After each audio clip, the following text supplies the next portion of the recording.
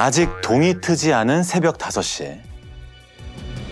땡 하고 아파트 엘리베이터 문이 열립니다. 여자를 등에 업은 한 남자가 헐레벌떡 엘리베이터에 올라타요. 유리 엄마, 정신 차려. 유리 엄마. 넋이 나간 얼굴로 연신 외쳐대는 남자의 옆으로 또 한 명의 여성이 따라탑니다. 그리고 이렇게 말해요. 괜찮아. 별일 없을 거야. 오빠. 이 남자의 입장에서 그날의 상황을 되짚어 보겠습니다. 그날 밤 0시, 남자는 새벽까지 그야말로 떡이 되도록 술을 마십니다. 그렇게 만취 상태로 집에 들어온 시간은 새벽 4시 20분. 살금살금 들어가서 끼 안방문을 열었는데 어라? 침대 위엔 어린 딸 혼자 잠들어 있어요. 오. 아니 이 시간에 어딜 간 거야? 하면서 작은 방 문을 살짝 열어보는데 어? 여보, 여보, 유리 엄마. 아내가 그곳에 쓰러져 있었던 거야. 아이고 아이고 아이고. 정신 차려봐. 어? 여보! 아무리 흔들어 봐도 반응이 없어요.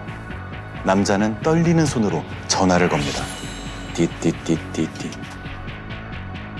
어, 난데 지금 빨리 우리 집에 좀 와줘. 처제인가? 친동생.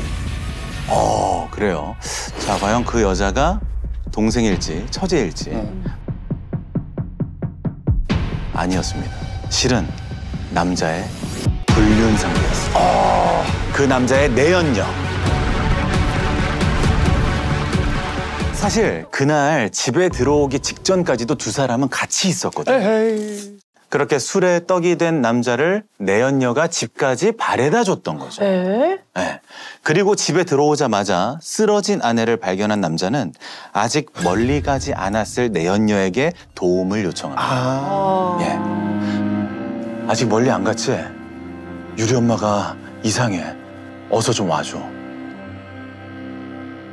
그리고 쓰러진 아내를 들쳐업고 내연녀와 함께 병원으로 갔는데 병원에 도착했을 때 설마 아내는 이미 사망? 음, 숨이 멎은 상태였어요. 어머, 이거 실화예요? 예, 실합니다.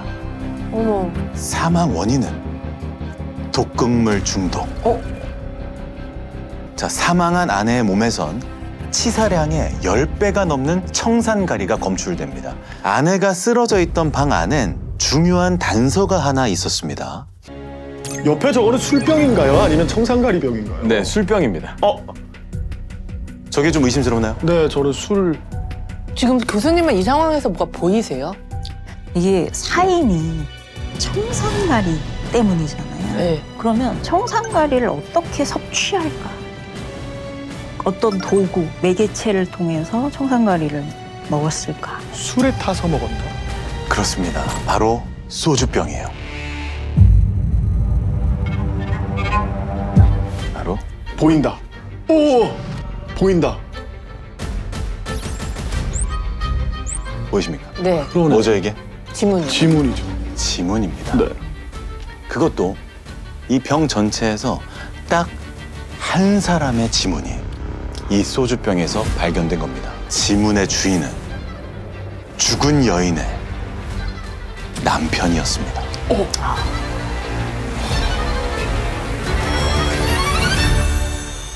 그럼 이제 남편이 굉장히 유력한 용의자가 되는 건데. 어, 근데 이럴 수 있잖아요. 여보, 여보, 정신, 차- 이게 뭐야? 아니, 이게 뭐야? 이러면서 만지느라고 묻었을 수 있지. 어, 그랬을 수도 있죠. 예. 어, 제가 도착했을 때 아내는 이미 쓰러져 있었어요. 저도 정신이 없어서 이게 무슨 일인가 싶어 주변을 둘러보는데 옆에 소주병이 하나 있더라고요. 이걸 마셨나 싶어 병을 들어 살펴봤어요. 홍진경 씨의 말처럼 정확하네. 이렇게 대답했습니다. 그 남편이 방바닥에 있던 병을 들어서 이제 봤다고 했잖아요. 예, 한번 제가 잡아볼까요?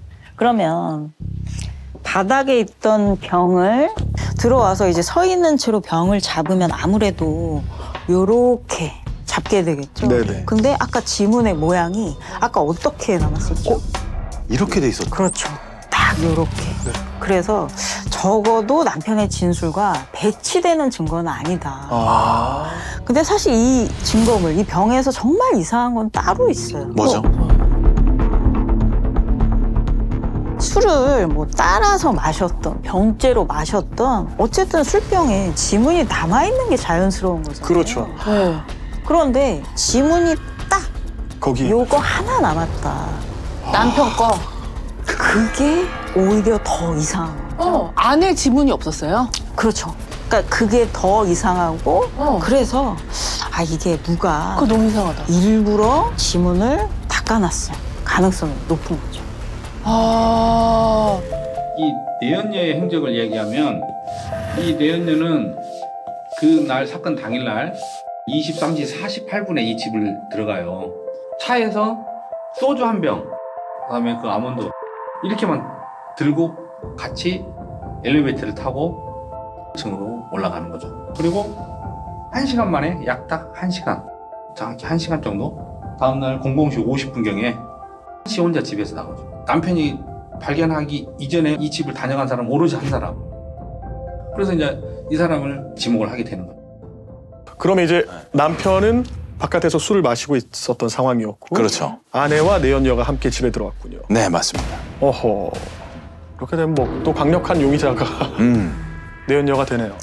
자, 과연 아내는 왜 남편의 내연녀를 집에 들였을까? 이 세 사람은 무슨 관계일까? 자, 아내가 사망하기 5개월 전으로 거슬러 가보겠습니다. 장소는 한 심부름 센터. 따르릉. 여보세요?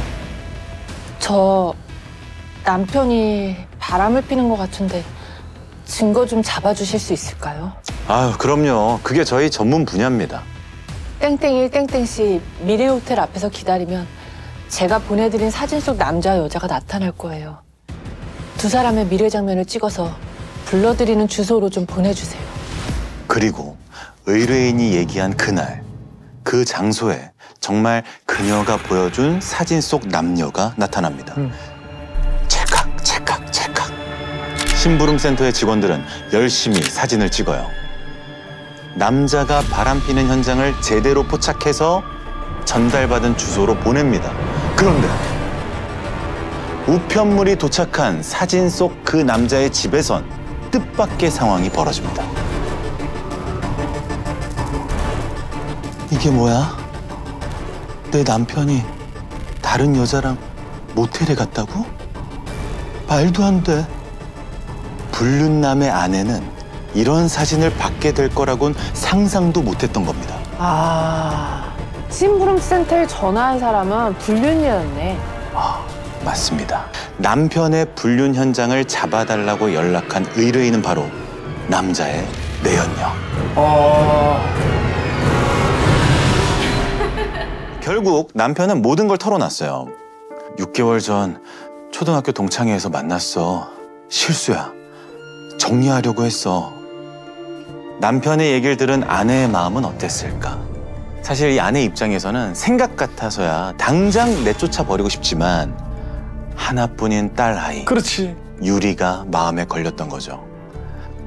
이 아이를 가지려고 내가 얼마나 노력했는데 결혼 7년 만에 얻은 우리 귀한 딸 아빠 없는 아이로 키울 수는 없어. 남편은 그 여자와 깔끔하게 정리하겠다는 약속을 하고 음. 그 자리에서 내연녀에게 문자로 결별을 통보합니다. 오. 그러자 쉴 새 없이 휴대전화가 울리기 시작하는데요. 아하. 뭐 누가 보냈는지야 안 봐도 뻔한 거고 뭐라고 보냈나 남자가 떨리는 마음으로 휴대전화를 열었는데 어라 남자의 휴대전화 메시지함이 텅 비어 있어요. 응? 아무것도 오지 않은 거죠. 그 시끄러운 메시지 수신음은 알고 보니 남자가 아니라 아내의 휴대전화에서 울린 거였어요. 무슨 심보야. 자신과 만나던 그 남자 대신 그 남자의 아내에게 문자 폭탄을 보냈던 건데요. 주로 헐벗은 투샷. 음. 두 사람이 같이 해외여행 가서 찍은 사진이나 은밀한 시간을 보내며 찍은 사진들이었습니다. 음. 네. 그리고 얼마 뒤 모두가 잠든 깊은 새벽 아내의 휴대폰이 울립니다. 여보세요? 그 여자였어요. 남편의 내연녀. 새벽 2시에 전화를 걸어 다짜고짜 한다는 말이 나 이만 살기로 했어. 왠지 알죠? 내가 죽는 건 다 당신 때문이야. 이러고 전화를 끊었어요. 놀란 아내가 곧바로 경찰에 신고를 했고 결국 그 내연녀를 찾아냈는데 경찰이 도착했을 때 그녀의 차 안엔 실제로 번개탄이 피워져 있었다고 합니다. 오. 그러면 아내가 살렸네요, 어찌됐건. 음. 자, 이런 상황에서 내연녀의 엄마는 남자의 회사로 찾아갑니다. 너무 피곤하다, 이들. 음. 아, 그러더니 남자한테 너 때문에 내 딸 죽을 뻔했어. 당장 내 딸 책임져. 아니면 보상금이라도 내놓든지. 아. 이러다 정말 회사에 소문나는 건 순식간이겠는데 남편은 아내를 붙들고 사정사정을 합니다. 한 번만 도와줘 여보. 합의금 주고 그 여자 깨끗이 정리하자. 어? 아내분은 며칠 뒤 부부가 살던 집을 담보로 대출을 받습니다. 그렇게 해서 마련한 3억 5천만 원을 남편에게 줘요. 합의금이야. 그 여자 갖다 줘. 아니 이 말이 돼요? 3억 5천이? 자, 결국 내연녀 모녀는 그 돈을 받고 남자를 다시는 만나지 않겠다는 각서를 씁니다. 음. 자, 과연 그 약속 지켜졌을까요? 아니요. 안 지켜지겠죠. 그렇습니다. 둘은 계속 만나고 있었어요. 게다가 당시 내연녀는 이 남자가 승진할 날만 기다리고 있었대요. 왜냐? 남자가 다니던 직장은 승진을 하면 자동으로 다른 지역에 발령이 나거든요. 어, 그 남자의 아내에게 받은 3억 5천만 원으로 오. 남자 직장 근처에 집을 얻어서 아예 살림을 차리고 같이 살 생각에 부풀어 있었던 거예요. 이야 골 때린다. 너무 나쁜 사람이다. 나쁜 사람이죠. 어. 그러던 어느 날 점을 보고 왔다는 내연녀가 남자에게 묘한 얘기를 꺼냅니다. 오빠, 오빠 와이프 남자 있대. 그 보살님 진짜 용한 거 알지? 다른 남자한테 정신 팔린 여자랑 계속 살 거야, 오빠? 말도 안 되는 얘기지 이간질이지. 굉장히 교묘한 사람이어서 거짓말일 가능성이 높겠죠. 그러니까 이 사람은 조종 조작을 굉장히 잘하는, 그러니까 판을 짜고 세팅하는 데 굉장히 좀 능한 사람이거든요. 이 내연녀가. 그래서 이런 식의 이제 얘기를 하는 것도 분명히 본인이 달성하고자 하는 목적이 있는 거죠. 근데 이제 이 여자의 목적은 아내를 나쁜 사람으로 만드는 거. 그래야 이 숭고한 사랑을 가진 내가 오히려 피해자가 되는 거죠. 음. 사실 이 내연녀는 그 전에도 정말 소름 끼치는 판을 짰던 적이 있어요. 어. 아까 그 심부름 센터 기억나시죠? 네네네네. 거기에 또 한 번 전화를 해서 이렇게 얘기합니다. 저 어떤 여자한테 접근해서 약을 먹이고 성관계하는 사진 좀 찍어줄 수 있나요? 근데 이 심부름 센터에서도 아 그건 못한다. 음. 딱 잘라 거절을 해서 다행히도 이 계획은 무산됐다고 음. 해요. 네. 자 내연녀가 남자에게 보낸 문자 메시지를 한번 볼게요. 정말 내 인생이 가엾다. 다른 남자 있는 유리 엄마랑 그렇게라도 살고 싶니? 당신만 바라보는 내가 미친 거지. 유리 엄마 남자 만나는 거 돈 안 들이고 쉽게 알 수 있어.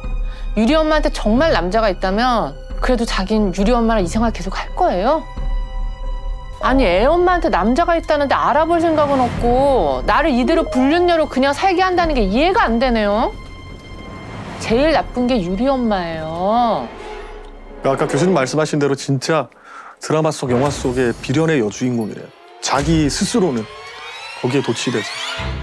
그 문자 보시면 시작이 내 인생이 가엾다잖아요. 맞아요. 그러니까 사실 그 안에 이 내연녀 특성이 이제 다 들어가 있는데 오로지 자기 자신에 대한 연민, 제일 불쌍한 건 나고 그 다른 사람에 대한 그런 고려는 안중에도 없는 거죠. 심지어 그 점쟁이가 한 얘기도 사실이 아닐 가능성이 거의 뭐 당연하지. 그걸 어떻게 알겠어. 다 누가. 지워낸 것 같아. 자, 근데 꼬리가 길면 또 밟힌다고 아내가 또다시 이들의 사이를 알게 됩니다. 결국 아내는 내연녀에게 직접 문자를 보냅니다. 그 사람 이혼 못합니다. 절대 이혼할 사람이 아니에요. 내 말이 정답이에요. 이제 연락하지 마세요. 그런데 이 문자가 내연녀에겐 큰 충격이었던 것 같아요. 음, 이후 내연녀는 남자에게 미친 듯이 문자를 보냅니다. 손발이 부들부들 떨리고 심장이 떨리고 유리 엄마 말처럼 불륜인 거 들킨 사람처럼 간이 떨려. 남이 보면 손가락질 받을 불륜녀라 아무 말도 못하고 그저 눈물만 나는 내가 너무 싫어. 나 남은 내 인생 당신과 행복하게 살고 싶어. 그러니까 내용 중에 불륜인 걸 들킨 사람처럼 오, 이런 너무 웃기죠. 불륜인 걸 들켰는데 네. 처럼이라니. 그러니까 자기는 이거 불륜 아니라고 생각하는 게 드러나는 음. 거예요. 야, 무섭다. 기가 찬다. 자, 다시 이 얘기로 돌아오면 남자가 드디어 내연녀에게 말합니다. 이제 진짜 헤어져야 할 것 같아. 애 엄마가 못 먹는 술까지 먹고 죽고 싶다더라고.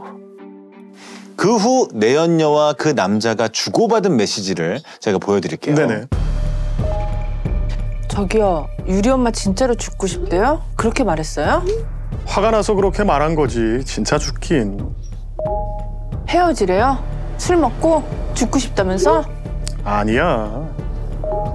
그럼 왜? 죽고 싶다고 한 이유가 뭔데요? 죽고 싶다는 말이 여러 번 반복되잖아요. 네. 그러니까 사실 본인이 듣고 싶은 말을 들었을 때 어떤 반응처럼 좀 자세히 말해봐라 지금 어. 이 얘기잖아요. 음. 아 그러면 본인이 정말 죽고 싶다란 얘기를 한 거야 라고 타당성, 음. 당위성을 얻은 거죠. 야, 불쏘시개가 됐네. 정말 사실 소름 끼치는 메시지. 아우, 아우, 공포스럽다, 진짜. 진짜. 너무 무섭다. 그리고 바로 다음 날 내연녀는 아내를 만나기 전에 그 남자에게 전화를 합니다.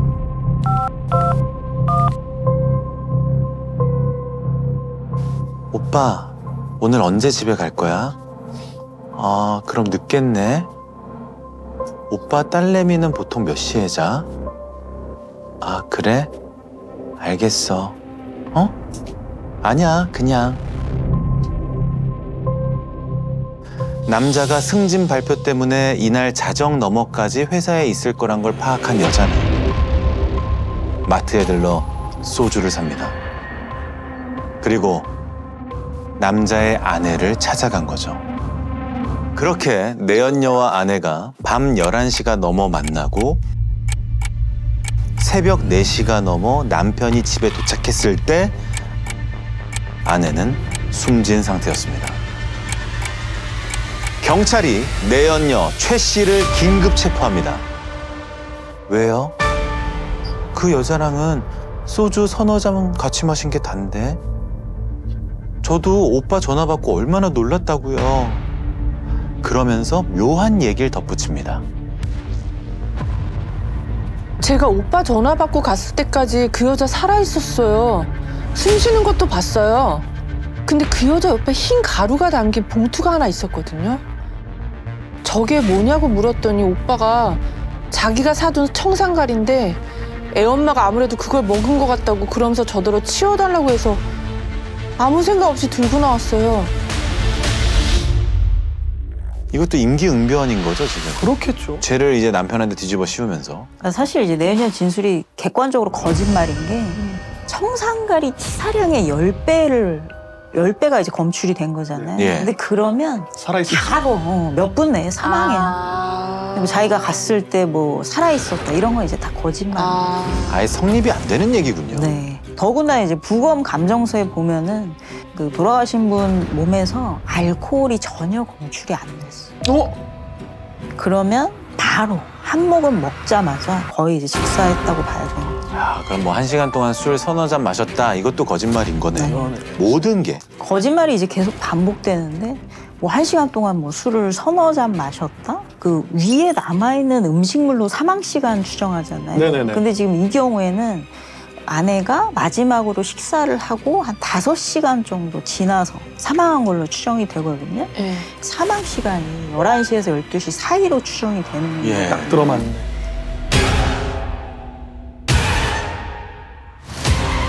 그리고 내연녀 최 씨의 휴대전화에선 이런 게 발견됩니다. 남편이 바람을 피워서 협박을 하려는데요. 먹으면 죽는 약품을 팔아주실 수 있나요? 아 그런 건 판매할 수가 없습니다. 제발 부탁드리겠습니다. 원하시는 가격에 사겠습니다. 제발 조금만 파세요. 죄송해요. 제발 조금만요. 얼마든지 원하시는 금액 드릴게요. 네? 약품은 어떤 조건을 제시해도 판매가 불가능합니다. 그리고 이제 중간에 막 청산가리를 구하려는 시도를 한 정황이 엄청 많이 나오거든요. 투 넘버로 사용한 소비자들이 많이 있었어요. 가면 뭐 화공약품 취급업자, 그다음에 자택에 있는 컴퓨터 이런 데서 청산가리 구입하는 방법, 청산가리로 죽이기.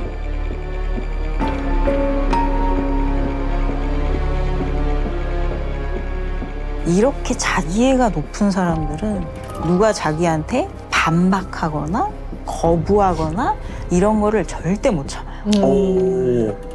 그 사실은 나르시시즘에서 자아가 팽창되어 있다 이렇게 얘기를 해요. 본인을 굉장히 대단하게 생각하니까. 그래서 그거를 너무 크게 불어버린 풍선에 비유하거든요. 네. 그 사람들의 자아를. 근데 풍선을 크게 불면 아주 약한 충격에도 그 풍선이 터질 수가 있잖아요. 그 남자는 이혼 못한다라는 그 부인의 문자가 사실 굉장한 트리거가 됐을 수 있죠. 자, 결국 내연녀 최 씨는 자신의 내연남의 아내를 독살한 혐의로 무기징역을 선고받았습니다.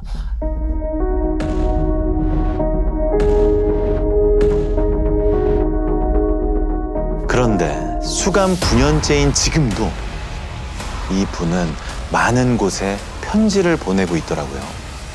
바로 이겁니다. 언론사? 뭐지? 어 너무 잘. 한번 보시겠어요? 이게 진짜 편지야? 네, 진짜 자필로 쓴 편지입니다. 어, 만지기 싫은데. 아, 무서워. 아, 글씨체가 이래. 아 실제 글씨체예요? 실제 글씨체입니다. 저는 청산가리가 어찌 생겼는지 본 적도 없습니다. 죽는 방법만 찾고 죽으려고만 했던 제가 지금은 어떻게든 살고 싶습니다. 너무 억울해서 너무 원통해서 이 살인자라는 누명이 고통 속에서도 살아서 버티게 합니다. 죽어도 이 피눈물 나는 살인자라는 누명은 벗어야 죽을 수도 있을 것 같습니다. 아 이거를 걔가 언론사에 계속해서 보내는 거죠? 네, 여기저기.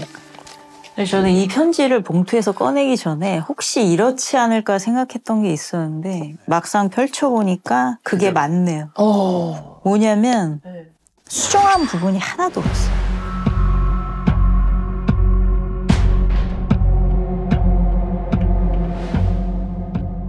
이게 지금 몇 페이지에 걸쳐서 어, 네네네. 쓴 거잖아요. 네. 근데 고친 흔적이 하나도 없죠. 어떤 걸 의미하죠? 완성본인 거예요. 여러 번 다른 데다 수정해갖고 연습해서 그러니까 본인이 남들한테 어떻게 비춰질 것인지를 끊임없이 고민하고 계산해서 아 이 정도면 방송국에 보내도 되겠다 싶은 그 완성본을 이제 보낸 거죠. 아주 계획적이고 교묘하고 치밀하게 신중하게 작성된 편지. 아니 근데 정말 자기 어떤 반성이 아예 와, 없다. 없어요. 일도 없는데. 자긴 피해자네, 계속. 그러니까 이런 편지를 지금 계속 여기저기 보내고 있는 거잖아요. 이 네. 사람은 관심이 없으면 못 살아요. 여보세요? 경찰서죠? 여기 신촌 땡땡공원 산책로인데요. 빠- 빨리 와주세요. 사람이, 사람이 죽었어요.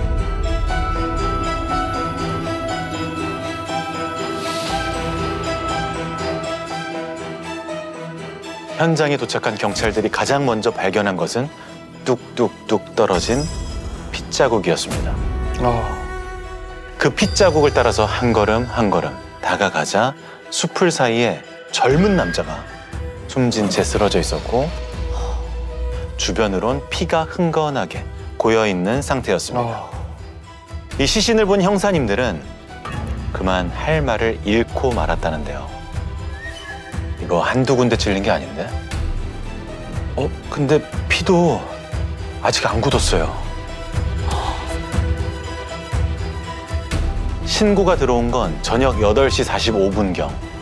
초저녁 시간에 서울 번화가 공원에서 살인 사건이 벌어진 겁니다. 꽃놀이가 한창인 4월이라 공원에 산책하는 사람도 많고 데이트하는 남녀도 많았어요. 자, 대체 누가 왜 이런 짓을 저질렀을까요?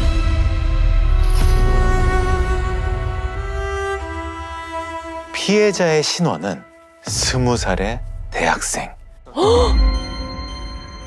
박군으로 밝혀졌습니다.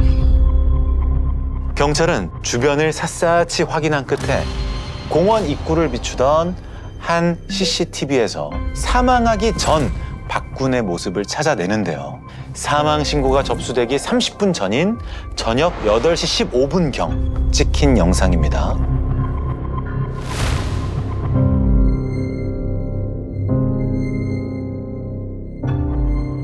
사람이 피해자 박군입니다.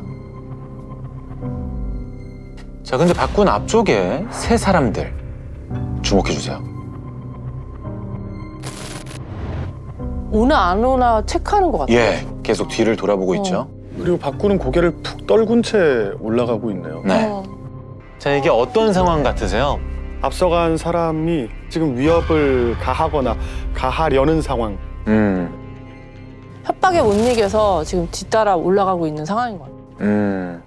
경찰은 이 영상에 포착된 이들을 살인 사건의 용의자로 특정하고 36시간 만에 검거합니다. 음. 그런데 그 정체는 너무 충격적이었어요. 자, 영상으로 보시죠.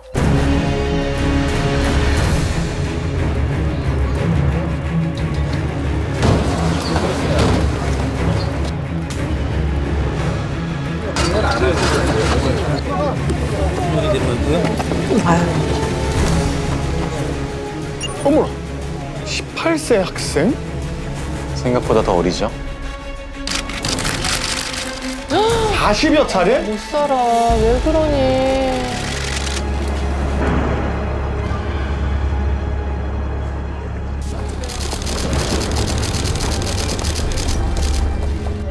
자, 용의자는 10대 남녀와 20대 남녀 총 4사람이었습니다. 그 영상에 세세 명만. 나잖아요. 그쵸.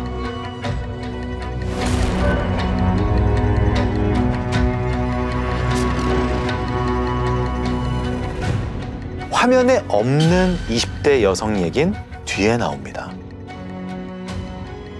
어. 자, 이들은 누구고 피해자와 무슨 일이 있었길래 이토록 대범하고 잔혹한 범행을 저질렀을까요? 그 시작은 사건이 발생하기 2개월 전 피해자 박군의 블로그엔 이런 글이 올라옵니다. 찬원 씨가 읽어주시죠. 네. 내가 땡땡이랑 해보고 싶은 것. 밴드에서 합주하면서 같이 노래 부르기. 놀이공원 함께 가기. 메신저로 1대1 채팅하다가 그대로 잠들어 버리기. 산 정상에 올라 둘이 함께 소리 지르기. 이런 글이 올라왔네요. 네, 이 글만 들었을 때 분위기가 대충 짐작이 가시죠? 어떤 네. 분위기입니까? 연인이랑 뭐 그렇겠죠. 해보고 싶은 거? 달달하죠. 이 땡땡이 CCTV에 안 나왔던 어머. 20대 여성 용의자입니다. 어.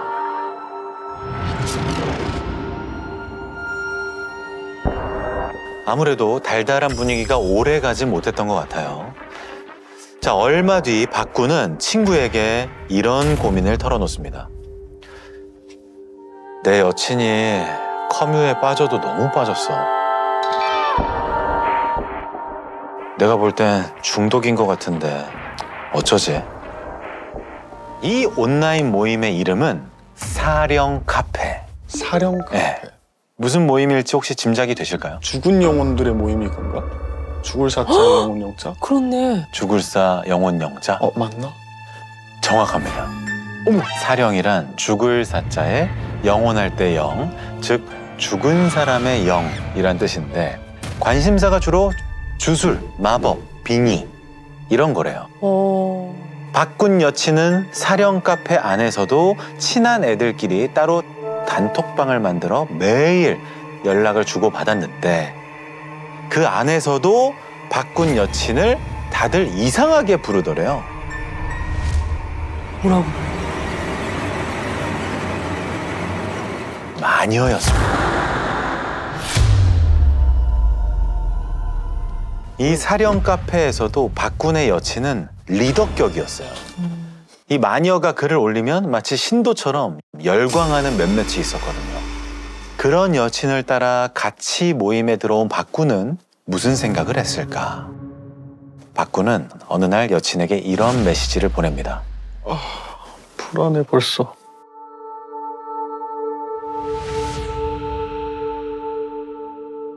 자기 혹시 사령이라는 게 진짜 존재한다고 생각하는 건 아니지? 진짜 존재하는 게 아니면? 어? 설마 정말로 그걸 믿는 거야?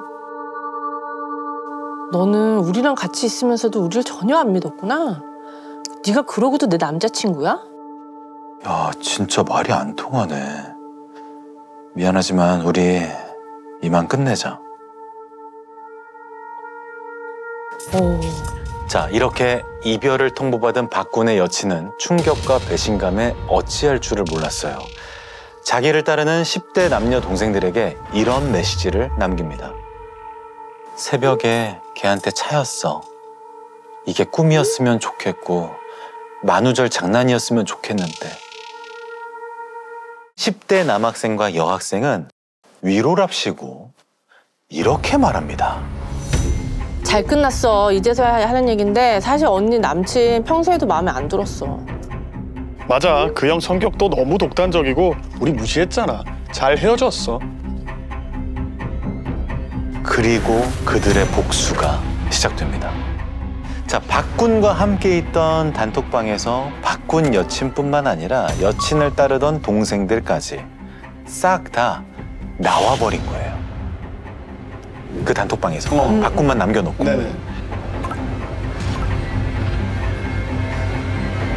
자, 이렇게 톡방에 혼자 덜렁 남겨진 박군의 기분은 어땠을까요? 여친하고의 이별은 이별인 거고 네. 이들은 또 이 사령 카페를 통해서 알게 된 동생들이라고 생각했는데 이들까지 같이 잃어버리니까 섭섭하고 음. 황당했을 수는 있었을 것 같아. 음. 박군은 완전히 빡쳤어요. 오. 그래서 단톡방에 있던 애들한테 따로 문자를 보내기 시작합니다.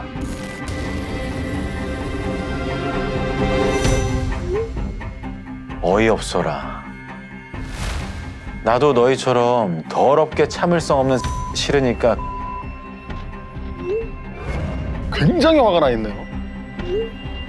그니까 누가 나 무시하랬냐고. 진심으로 사과해라.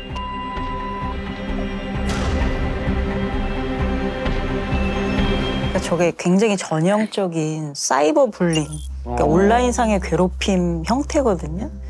있는 사람 없는 취급하는 거 있죠. 맞아. 아. 그리고 이렇게 있을 때 따돌림 하는 것도 그렇지만 톡방에서 그 사람 따돌림 하는 거. 그러니까 이런 것도 맞아. 굉장히 고통스러워서 아주 어릴 때부터 인터넷이 본인 그 생활의 일부였던 아이들한테는 사이버 불링으로 느끼는 고통이 엄청나게 큰 거죠.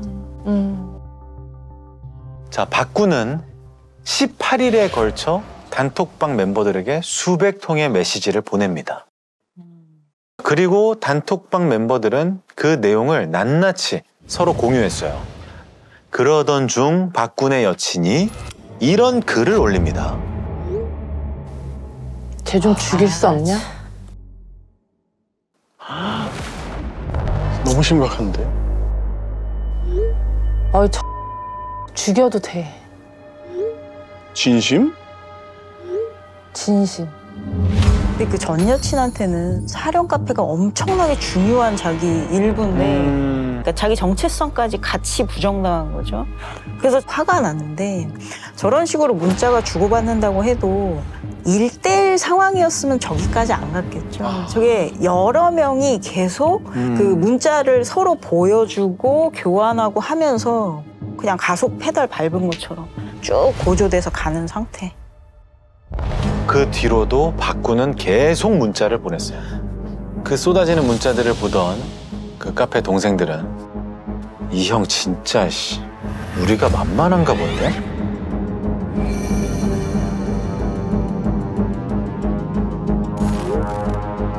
죽여 그냥 슬퍼할 자 없어. 사람의 명을 바꾸는 게 얼마나 힘든지 알아? 발밑에 엎드려서 발가락 하나하나에 입 맞추고 사과하고 찬양한데도 절대 용서 안 해.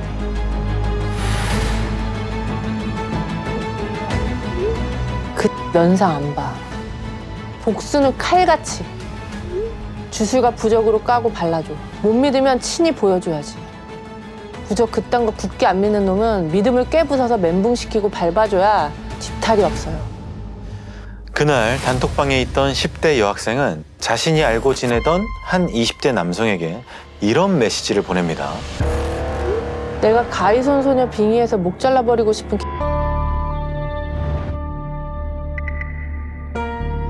주소하고 번호만 있으면 소멸해 줄게. 부탁드립니다, 꾸벅. 볼 때마다 눈물 나고 짜증나고 어이없고 화나고 분하고 입 찢어 발기고 싶다. 힘들어.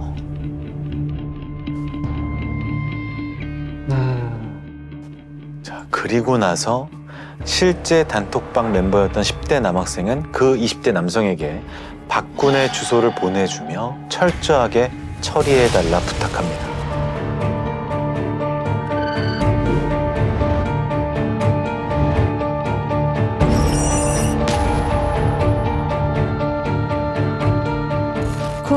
그 남자는 살인 청부업자예요? 뭐예요? 그러니까. 온라인상에서 유명한 인물이었던 건 분명해요. 어. 해결사로 악명을 떨치고 다녔던 사람이었거든요. 온 해결사.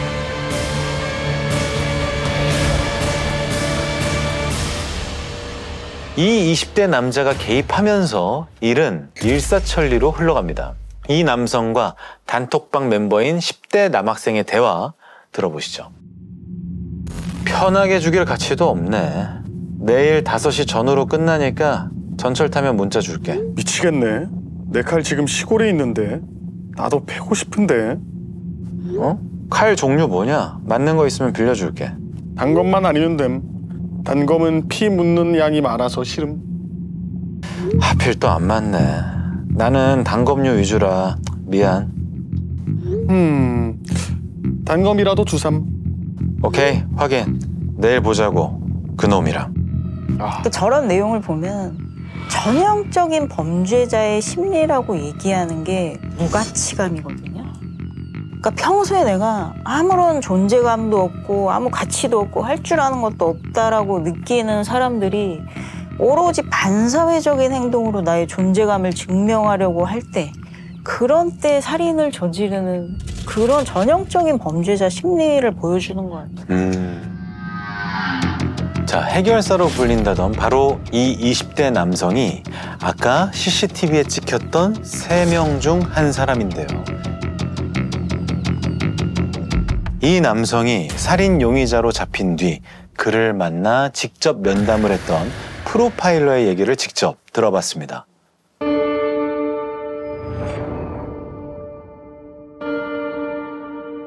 가해자 B군 같은 경우에는 좀 굉장히 주눅들고 이렇게 수줍어하는 굉장히 좀 자신 없는 성향이고 우울감을 가지고 있었거든요. 가정 환경을 묻는 질문 혹은 가족과의 관계를 묻는 질문에 있어서 가족에 대해서 굉장히 이제 남처럼 얘기하거나 아니면 부모님과 어, 그 감정적 애착이 느껴지지 않는 등의 말을 한 적은 있습니다. 그리고 이제 그 예전에 폭력의 피해 경험이라든지 아니면 왕따 피해 경험 이런 것들이 있어가지고 이 가해자들한테는 자기 집단 무리한테는 조금 이렇게 강하게 보이고 싶었던 것 같습니다. 딱히 비군 같은 경우에는 피해자에 대해서 원한질 일이 별로 없습니다. 그냥 그렇지. 이 친구들이 싫어하니까 내가 해결해 줄게 라는 의미로 어, 정도의 그 이유만으로 그 범행에 참여를 하게 되는 거죠. 사실 이 20대 남자도 겨우 20살 대학교 1학년 학생이었습니다. 그렇다면 나머지 단톡방 멤버들은 어떤 학생이었을까? 그러니까.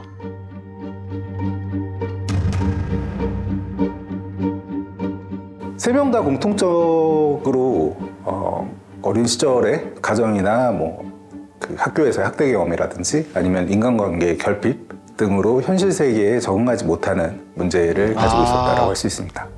현실에서 채우지 못하는 인간관계라든지 아니면 애착 이런 것들을 사령 카페를 통해서 어, 해소를 하고 있었던 것 같고요. 현실 생활에 적응을 하지 못하고 옮겨간 곳이기 때문에 이곳을 지키기 위해서 이곳의 평화를 위협하는 피해자를 굉장히 나쁜 사람, 어떤 처단해야 될 존- 존재 이렇게 파악을 했던 것 같습니다. 당시 이제 면담에서 나왔던 것 중에 기억나는 게 그 피해자가 빌미나 아니면은 그 이유를 제공했다. 그러니까 우리는 그렇게까지 하고 싶지 않았는데 자꾸 막 문자를 보내가지고 뭐 협박을 하고 이런 것들에 대해서 서로 이제 이걸 어떻게 해야 되는지 얘기를 하다가 죽이는 것까지 얘기가 되게 됐다. 이렇게 진술했습니다. 지금 해결사를 자처하는 20대 남성이 개입했잖아요. 예. 근데 저게 사실 군중 심리의 어떤 핵심을 보여주는데 군중 심리에서 가장 문제가 되는 게 책임의 분산이에요. 그러니까 죄를 저지르고 나 혼자 한 거 아니야. 혹은 뭐 내가 시작한 거 아니야. 이런 식으로 하다 보면 반사회적 행동을 하고도 별로 죄책감을 느끼지 않는 경우가 아, 많거든요. 진짜 그렇겠다. 근데 이제 자기가 해결해 주겠다. 뭐 칼 종류를 막 얘기하면서 이런 사람이 나타나면서 그거를 실행해 주겠다는 사람이 나타났잖아요. 그러면 책임을 전가할 수 있는 존재가 등장을 해준 거죠. 그런 식으로 저런 외부인이 나, 나타남으로써 오히려 이 사람들의 죄책감이 덜해진 상황 같아요. 아, 그렇게까지 하고 싶진 않았다. 이게 살인에 가담한 네 청년이 공통으로 한 말이었대요. 자, 폭탄 문자를 보내고 며칠 뒤 박구는 10대 남학생에게 문자를 보냅니다. 우리 뭐 때문에 싸운 거지? 약간 화해 손을 내민 거 아닌가요? 아, 화해 제스처다. 네. 근데 답이 안 와. 다시 또 보냅니다. 선물 가져왔는데 어디야? 사과하고 싶어. 너 좋아하는 그래픽 카드 줄게. 그러자 10대 남학생도 그러자며 약속을 잡아요. 그리고서는 박군이 없는 자기들끼리 있던 단톡방에 이런 글을 남깁니다. 땡땡땡 잡는 날 파티 박땡땡 잡는 거 구경하실 분 제발로 와서 그래픽카드 선물하고 싶다고 해결사 오빠가 잡아주기로 함. 때리는 거 말고 잡는다고. 레알이라니까. 뭔가 돼지 잡는 거 생각하면 본격 돼지 잡는 현장. 난 회 뜨는 거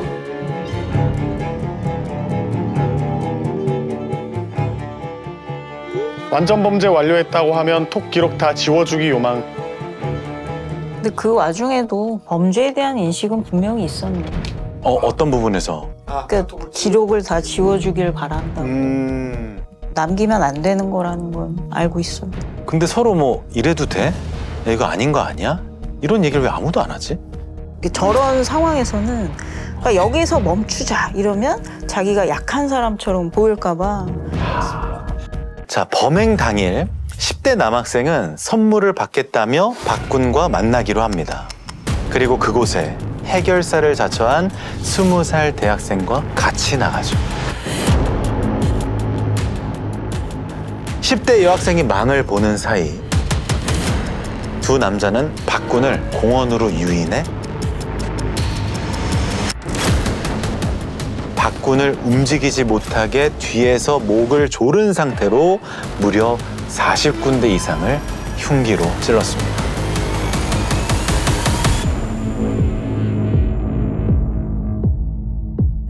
그게 집단 심리 그러니까 여러 명이 같이 범죄를 저지르면 실제로 공격성이 극단적으로 높아져요.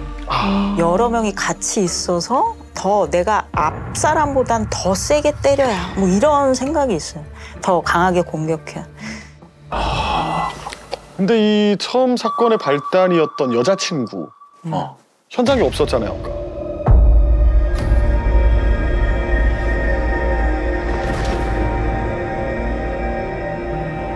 맞습니다. 사실 박군이 자신의 여친에겐 따로 이런 얘기를 했었어요. 너한테 화낼 일이 아니었는데 미안해. 그래서였을까요? 범행 직전 그녀는 많이 망설였던 것 같습니다. 죽이면 안 된다는 기분이 들어. 나 때문에 죽는 것 같기도 하고. 그냥 환생을 못하게 멸할까? 그때 10대 남학생이 이런 답글을 올립니다. 세상엔 매일 3만 건의 살인 사건이 일어나 3만 한 건이라고 달라지는 건 없어.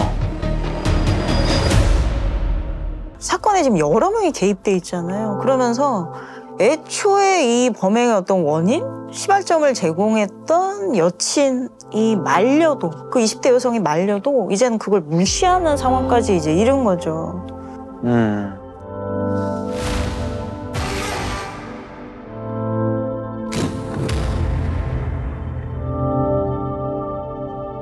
근데 이 사건이 처음 있고 나서 사람들이 아, 이 사건의 어떤 원인을 사령 카페라는 것에서 처음 찾으려고 했거든요. 그러니까 뭔가 되게 눈에 띄고 특이하잖아요. 네. 음, 음. 그런 뭐 사령 카페나 이런 눈에 띄는 것보다는 저 여러 명이 어떻게 감정이 고조돼서 저런 살인까지 저질렀는지 그 집단 심리가 심화되는 그 절차를 좀 사람들이 주목했으면 음. 아. 그래야 이제 청소년들도 앞으로 저런 범죄에 휘말리지 않을까요? 연이은의 10대 폭행 사건에서 가해자들은 폭행 장면을 생중계하거나 SNS에 올리는 등 폭행을 과시하는 모습을 보였습니다.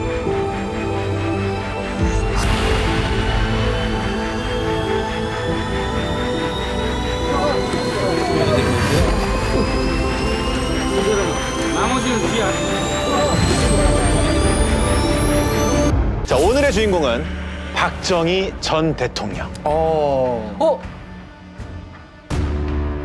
말고 아, 깜짝이야. 예. 1970년대 대통령을 꿈꿨던 아우. 또 다른 인물에 대한 이야기입니다. 한 남성이 지친 몸을 이끌고 집으로 들어섭니다. 여보, 시장하시죠? 아내가 정성껏 상을 차려냅니다. 딱 봐도 맛있어 보이는 된장찌개. 자, 다들 좋아하시는 그 된장찌개. 음. 이 구수한 찌개를 한 숟가락 떠서 입에 넣더니 탁 하고 남편이 수저를 내려놔요. 그리고 방으로 들어갑니다. 빽빽하게 적힌 쪽지를 들고 나와서 내미는데 반찬 레시피였어요. 된장찌개, 멸치 우린 국물에 끓일 것, 나물, 참기름 X, 들기름 동그라미, 명심 또 명심할 것. 이 쪽지였습니다. 이 아내분은 불평 한마디가 없어요. 왜, 왜? 도대체 왜? 왜? 아내가 얘기합니다. 네. 꿈을 이루려면 참고 견뎌야지. 자, 꿈이 뭐였을까요? 아까 살짝 힌트가 나왔었죠? 그렇죠. 1970년대 대통령을 꿈꿨던 아. 자, 이 아내분은요. 명문대에서 정치 외교학을 공부했어요. 네. 음. 이름은 박땡땡 씨. 근데 이때가 언제라고 했죠? 70년. 70년대. 그렇습니다. 1970년대. 가스나가 뭐 대통령 퍼뜩 시집이 나 가라. 안타깝게도 이런 시대였어요. 이 현실의 한계를 뼈저리게 깨달은 박 여인은 목표를 수정합니다. 자, 이렇게 수정된 목표 뭘까요? 영부인. 음. 빙고. 대통령이 못 된다면 대통령 부인이라도 돼야지. 그래서 해군 사관학교를 나온 장교와 선을 봐서 결혼에 꼴이 납니다. 결혼한 뒤엔 내조의 여왕이 됐어요. 아들도 둘이나 낳고 교육에도 엄청 신경을 썼죠. 공부는 물론이고 행동거지 하나하나 매너와 말투까지 똑부러지게 가르칩니다. 그래서 그녀의 꿈은 이루어졌을까요? 영상으로 보시죠. 네.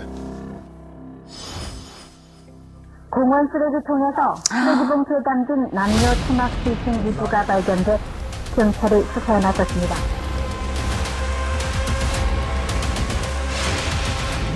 이게 몇 년도 2000년도 기사구나. 자, 지문을 통해 알아낸 피해자는 바로 맞습니다. 우리가 앞에서 소개했던 장교 부부였어요. 자, 그때 사건을 수사했던 형사님의 얘기를 들어보겠습니다. 네. 벌써 24년 전의 일이네요. 끔찍했던 범죄라 안타깝고 해서 많이 이제 기억은 있죠. 이 피해자들의 주거지, 집을 가야 되지 않습니까? 문을 두들겼죠. 탁탁탁탁. 계세요? 계세요? 문이 그냥 쾅 하면서 열리는데 저도 살인자 그 아주 강력범들 평생을 그런 애들하고 씨름하면서 살아왔지만은 그 눈, 그 광채, 광기인 눈은 나는 눈은 제가 아주 처음 봤습니다. 아주 조그맣고 왜소하고 빽짝 거기다가 여름에 하, 하얀 티를 입고 나왔는데 애가 그냥 초등학생 같더라고 초등학생. 초등학생도 아주 말르는 초등학생. 자, 얼마 전에 제대한 이 집에 24살 된 둘째 아들이에요. 어.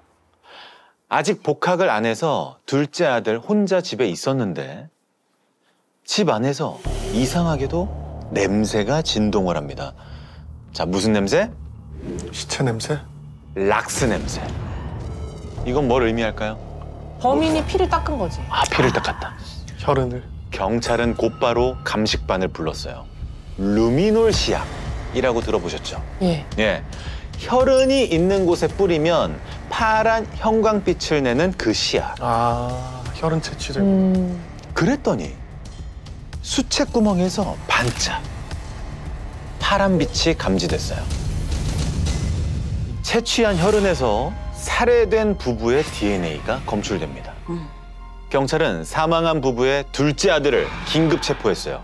그런데 무슨 말씀이세요? 제가 왜 부모님을 죽입니까? 둘째 아들이 범행을 강력하게 부인하고 있던 그때 한 남자가 경찰서로 들어섰어요. 너 이게 어떻게 된 일이야? 조사실로 찾아온 남자는 사망한 부부의 첫째 아들이었습니다. 아. 형을 보고 한참 동안 아무 말이 없던 둘째가 잠시 후 입을 여는데요. 제가 그랬습니다. 어머니 아버지를 제가 죽였어요.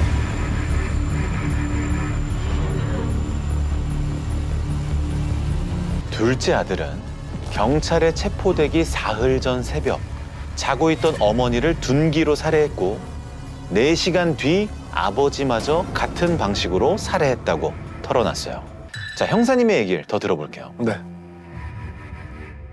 이제 형이 오고 난 후부터는 차분하게 진술한 거로 기억되고 이라고 항상 얘기 묻는 말이 다 얘기를 해요. 뭐 부인하고 그런 것도 없이 이제 감정이 없어 보여. 말이 없어. 울지도 않아요. 울지도 않아. 울지도 않아. 음. 편입한다고 도와달라고 했는데 부모님이 너도 컸으니 돈 문제는 나한테 얘기하지 마라. 앞으로 네가 알아서 해라. 여기서 얘가 이제 많은 생각을 한 것 같더라고요. 군 생활 동안 면회 한 번 오지 않았던 점. 어렸을 때 무시하고 구박하고 학대한 그런 생각이 나서 아마 그런 것 같습니다. 이제 형이 오고 나서부터 갑자기 이렇게 진술을 계속해서 털어놓은 게 이게 뭐 어떤 심리일까요? 그 집안의 사정을 알고 있는 사람이잖아요, 형이. 그래서 뭔가 더 이상은 부인해도 음. 소용이 없을 거란 아, 생각을 한 것 같아요. 음. 네. 그렇구나. 근데 더 들어보세요. 놀라운 건 그 얘기를 들은 첫째 아들, 이 형의 반응입니다. 동생을 이해합니다. 둘째가 초등학생 때로 거슬러 올라갑니다.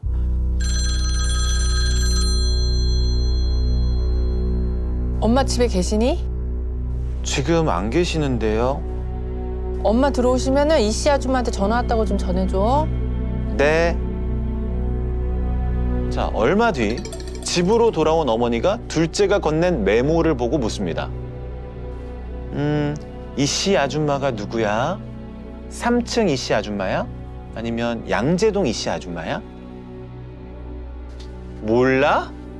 확인 안 했어? 나이가 몇인데 전화 하나도 제대로 못 받아? 전화 받을 때 똑바로 물어봐야 된다고 엄마가 몇 번 얘기했어. 그리고는 갑자기 뺨을? 어린 아들의 뺨을 후려칩니다. 어, 너무 심하다. 그렇죠. 그러니까 이 정도면은 예. 집안에서 사소한 일이 있어도 이렇게 손이 올라갈 정도로 신체적 학대, 정서적 학대가 만연한 상태로 봐야죠. 사소한 일 하나하나 간섭하고 통제를 했을 것 같아요. 둘째는 평소 일기를 자주 썼는데요. 거기 어떤 내용이 적혀 있는지 같이 보시죠.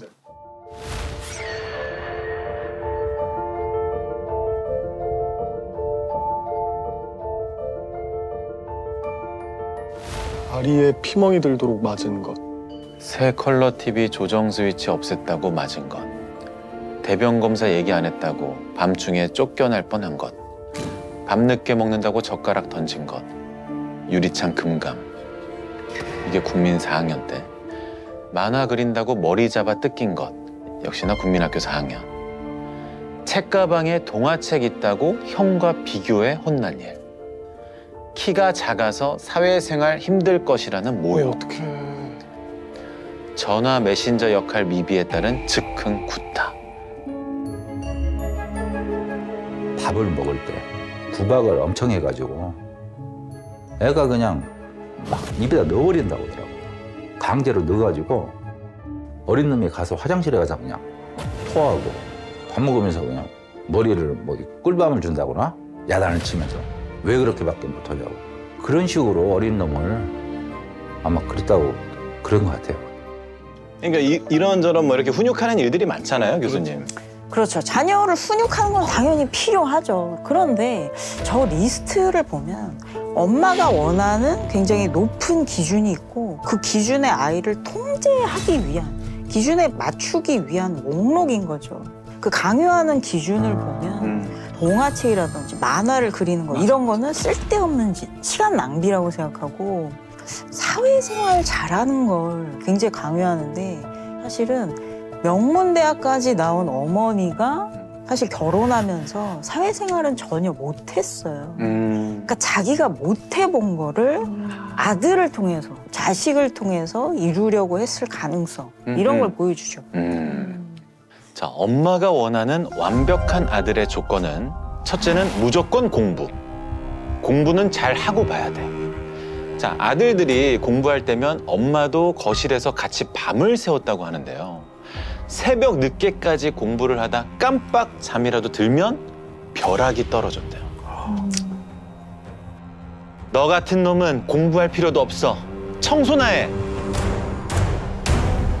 그래서 둘째가 공부를 못했냐?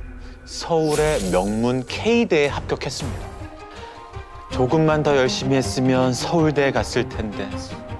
이렇게 부모가 뒷바라지 하는데 그걸 못해?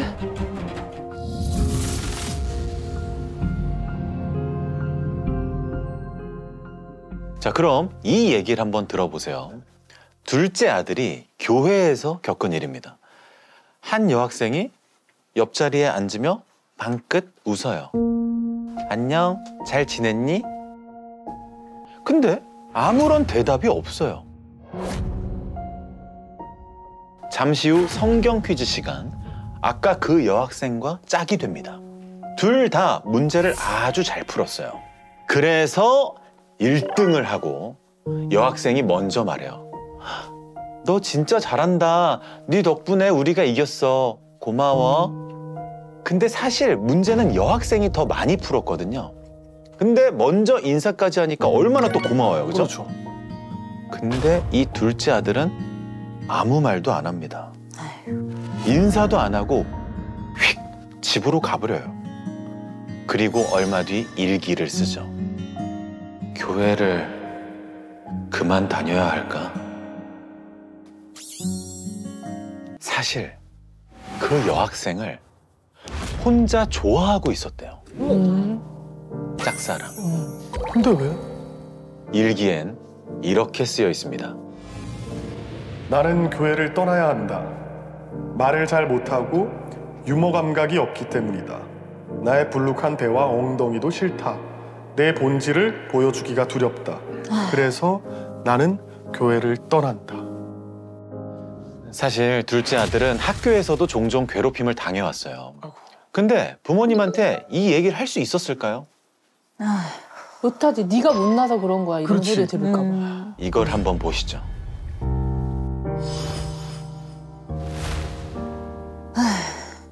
담임은 하나도 안 무서웠지만 어머니는 그렇지 않았다. 내가 학교 생활을 엉망으로 한다는 사실을 아시면 나는 아마 죽도록 얻어맞고 집에서 쫓겨날 것이란 생각이 들었다.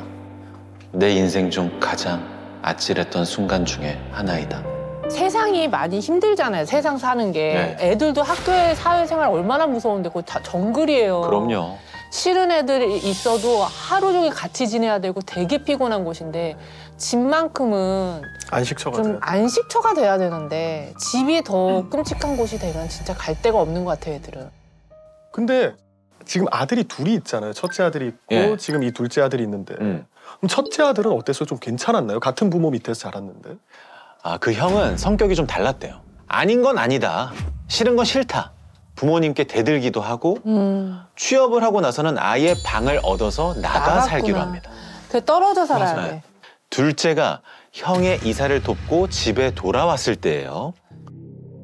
형 이사는 잘했니? 네. 그게 다야? 엄마 묻는데 그렇게 성의 없이 퉁퉁 댈 거야?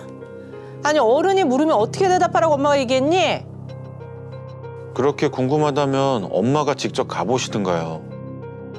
너 그게 어디서 배워먹은 말버릇이야? 어릴 때도 저만 더 많이 때리셨잖아요. 저는 밥도 제때 안 챙겨주면서. 둘째 아들은 어머니에게 그동안 쌓였던 걸 살면서 처음으로 다 쏟아냈어요. 어. 난 기억이 안 난다. 아니 그럼 그때 얘기하지. 왜 이제 와서 이러니? 아무리 서운한 게 있어도 그렇지. 자식이 부모한테 이래도 돼? 자 그렇게 모자는 네시간을 다툽니다. 그런데 다툼이 있고 나흘 뒤 아버지가 둘째 아들을 방으로 부릅니다. 이번엔 뭐라고 했을까요? 어렸을 때 일을 가지고 사내 자식이 옹졸하긴 소심하게 좀 굴지 마. 자, 이날 이후 둘째 아들은 자신의 방 안에만 틀어박혀 지냅니다. 화장실도 가지 않았대요. 이 생리 현상은 방에 있는 깡통에 해결했고요. 집에 아무도 없을 때만 잠깐씩 나왔다 들어갔다고 해요. 하지만 이 엄마와 아빠는 끝까지 방문을 두드리지도 않았대요. 그 안을 들여다보지도 않았고요. 얼마 동안? 무려 6일 동안. 결국 6일째 되던 날 둘째 아들이 방 안에서 혼자 멍하니 넋을 놓고 있는데 옆에 뭔가 눈에 띄어요. 설마. 망치였습니다. 아, 동기를. 그리고 돌이킬 수 없는 짓을 저지르게 됩니다.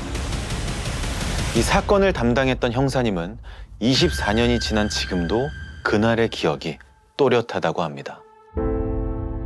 형사 그 기동대 그 차에 항상 내 옆에 제 옆에 태우고 그 토마호크 사체를 타지러 다녔습니다. 모자를 푹 눌러 쓰고 몸을 항상 이렇게 빼짝 마른 놈이 이렇게 웅크리고 아무 말도 말을 없어요 말이. 제가 한마디 이렇게 한 적은 있어요.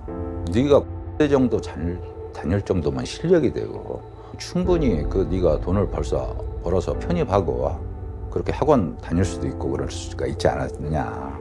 응? 부모님한테 기대지 말고 그렇게 꼭 극단적인 방법을 해서 꼭 죽여야만 했느냐. 그때 처음으로 울었습니다. 그냥 어, 어, 어, 어, 어, 어, 하면서 막 진짜 처음으로 그냥 우는 게 아니라 막 대성 통곡을 하는 거예요, 대성. 자, 나중엔 이렇게 말하며 울부짖었다고 합니다. 그날 어머니가 조금만 저에게 따뜻하게 대해줬어도 제가 이런 짓은 안 했을 겁니다. 결국 둘째는 1심에서 사형을 받았지만 2심에선 이례적으로 감형이 돼 무기징역을 선고받았습니다. 자, 여기서 또 다른 에피소드를 하나 들려드릴게요. 어. 자, 한 아이가 열심히 책을 읽고 있었어요. 그런데 뒤에서 갑자기 버럭 고함 소리가 들려요. 엄마가 소설책 읽지 말라고 했어 안 했어? 도움이 되는 걸 보라고 교양 서적을 읽으란 말이야. 엄마의 어릴 적 얘기예요. 엄마도 어릴 때 똑같이 자랐던 거예요. 이 박여인의 엄마는 딸한테 그 시절 과외 선생님도 붙여주고 학교에도 늘 데려다주고 데려오곤 했대요. 그래서 결국 공부도 잘하고 교양도 있고 품위도 있는 최고의 신부감으로 딸을 키웠던 거죠. 짐작은 가네요. 그래서 자식들한테도 보지식하고 융통성이 없게 자기 방식 그대로 따르기를 요구한 것 같아요. 근데 자식이 내가 아니잖아요. 그렇죠. 그러니까 자식을 독립된 인격체로 봐야 되는데 그러지 못하고 실현되지 못한 자기 욕망에 대한 정도로 본 게 아닌가. 음. 영부인이 되려고 대통령이 될 수 있는 군인과 결혼했잖아요. 근데 꿈은 생각보다 일찍 깨졌다고 합니다. 남편의 승진이 자꾸 밀린다 싶더니 아 진급이. 예, 꽤 이른 나이에 예편했대요. 어. 그때 느낀 이 실망과 좌절이 너무 컸던 것 같아요. 그 아버지가 어떤 성격이었냐면 아버지도 굉장히 통제적이어서 서로 이제 나중에 각방 쓰고 밥 먹다가 이제 뭐가 마음에 안 들면 그 방으로 들어가 버린 다음에 몇 달 동안이나 혼자만 밥을 먹은 적도 있대요. 엄마가 남편에 대해 쓴 일기 내용이 있습니다. 저 자는 양의 탈을 쓴 일이이며 사탄과 친한 자이다. 주기도문 중 저를 유혹에 빠지지 않게 하시고라는 말의 대상이다. 파괴와 멸망으로 이끄는 자, 원흉이다. 악의 업소이다. 자, 그러면서 두 아들에 대한 통제도 더 강해집니다. 그따위로 하려면 때려쳐. 내가 누구 때문에 이런 집에서 참고 사는 건데. 이혼도 못하게 만드는 인생의 족쇄 같은 놈. 부모는 정말 둘째 아들을 족쇄라고만 생각했을까요? 자, 부모님의 유품을 정리하던 첫째 아들이 뒤늦게 이런 걸 발견했다고 합니다.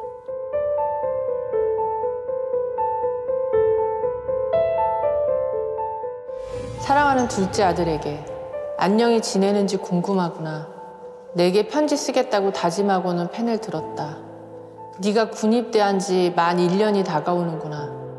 형은 바쁘게 직장 생활하고 있다. 바쁜 만큼 결실도 있어야 될 텐데. 나는 요즘 너를 향하여 새로운 기도를 하고 있다. 너 자신이 하나님의 귀한 선택의 결실이기를 기도한다. 건강히 몸 좋을 심하여라. 오늘 이만 줄인다. 안녕히. 아마 이제 자식이 군생활 하고 있을 당시에 보내려고 쓰셨던 것 같은데 전해지지 못했네요. 음.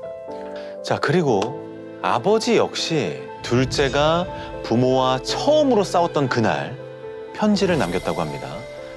이번엔 찬원 씨께서 너에게 관심을 안 둔 게 아니라 어머니가 너무 윽박지르고 간섭하는 것 같아서 나는 되도록 가만히 있었고 또한 별 탈 없이 잘하고 있는 줄 착각하고 그냥 있었던 것이다. 아버지는 가족이 먹고 살 수 있도록 평화롭게 자식이 학교 다니고 자립할 수 있도록 뒷바라지하는 것만으로도 최대의 관심을 뒀다. 그리고 이 뒤에는 내용을 더 쓰려다 만 흔적만 있었어요. 아 그래요. 네, 끝을 맺지 못한 거죠. 음, 뭐 어떤 부모든 자식에 대한 애정이 없겠습니까? 그럼요. 근데 그 애정을 표현하는 방법이 좀 잘못된 것 맞아. 음. 같아요. 근데 저는 둘째 아들의 시선으로 저 편지들을 보면 사실 또 나를 통제하는구나라고 느껴졌을 것 같거든요. 그러니까 아버지의 편지 같은 경우에는 그러니까 어머니 탓을 하면서 본인 행동에 대한 정당화를 하고 있는 걸로 보이고 어머니 편지에서는 저는 결실이란 단어가 굉장히 좀 많이 나오더라고요. 그게 좀 걸리는데 그러니까 결실이란 말 자체가 저렇게 통제를 중요하게 생각하는 사람들은 성과에 집착해요. 그래서 형이 바쁜 만큼 결실이 있어야 될 텐데 그러니까 이거는 형이 바쁜 걸로는 충분하지 않고 성과에 집착하는 성향을 좀 잘 보여주고 그러니까 사람의 가치 기준을 뭔가를 이뤘냐 이루지 못했냐 이걸로만 보는 게 또 완벽주의의 특성이거든요. 그 둘째 아들 입장에서는 또 나한테 뭔가 높은 기준을 두고 바라는 게 있구나 이렇게 부담으로 작용했을 수도 있을 것 같아요.